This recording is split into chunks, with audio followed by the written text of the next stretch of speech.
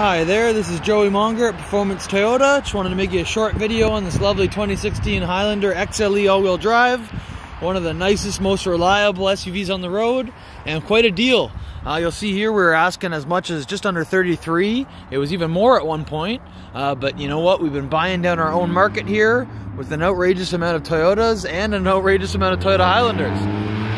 Apologize for the, uh, the little Mazda Miata rumbling on the road. But here is our lineup of all of our Highlanders. I know you asked if we've got others or other comparables. So to my own point, we've been buying down our own market out here. So of course, online, Facebook, you know, uh, Auto Trader, Kijiji, they all allow the public to have the lowest market value price right at their fingertips. So this one is now $29,000 in ex excellent, exceptional shape. You'll see here uh, next to brand new, if not absolutely brand new rubber. Great set of alloy rims.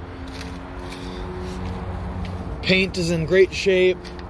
Nice tinted rear windows. The roof rack up top.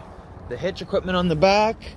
Really looks like it's never been used, but it is fitted on there just in case you ever need to. This pre-dawn gray mica paint is lovely and sparkling. You might have a hard time seeing here. Not really, those sparkles shine through. I got a little bit of the light out by the road to help me.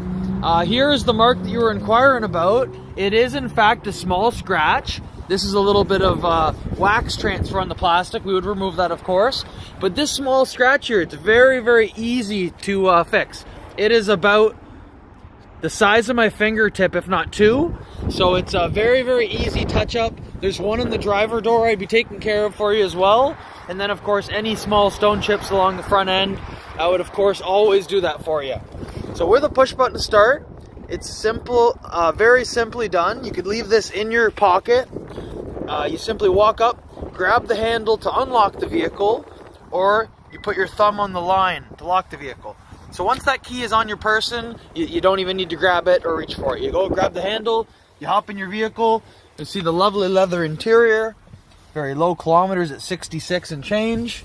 You get in, you push the button with your foot on the brake, and then it turns on for you. Right now, not the best first impression. It was left out in the cold or left running.